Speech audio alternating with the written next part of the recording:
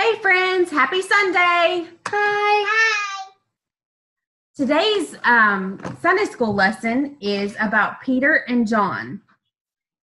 And it, um, Peter and John go to a temple and they helped a man who could not walk. So it's based upon Acts chapter 4, verses 1 through 22. It was 3 o'clock in the afternoon and it was time for prayer in the temple. John and Peter went to the temple to pray. As they were walking into the temple, they saw a man who could not walk being carried down into the temple. He was laid by the gate.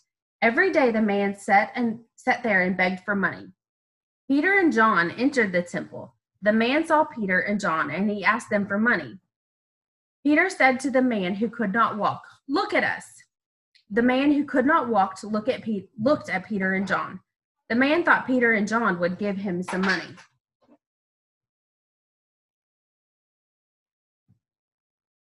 So you see, the man, he thought Peter and John were going to give him some money. Mm-hmm. Peter said, I do not have money to give you, but I have a better gift. I can give you Jesus Christ. In the name of Jesus Christ, get up and walk. Peter took the man's right hand and helped him to get up. At once, the man's feet and ankles became strong, and he jumped up and started walking. The man went into the temple with Peter and John. Everyone who saw the man was amazed. All right. So Peter and John met a man at the temple, and he could not walk. Because he could not walk, he was considered unclean and he wasn't allowed to go into the temple to worship God. How do you think you would feel if you were this man and you could not run or walk?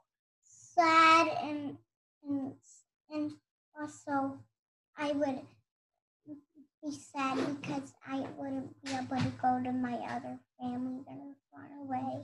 Horribly sad. You would feel very sad, yeah. So in the Bible story, story Peter, Peter helped a man to walk. And um, because Peter remembered that Jesus wanted him to help others.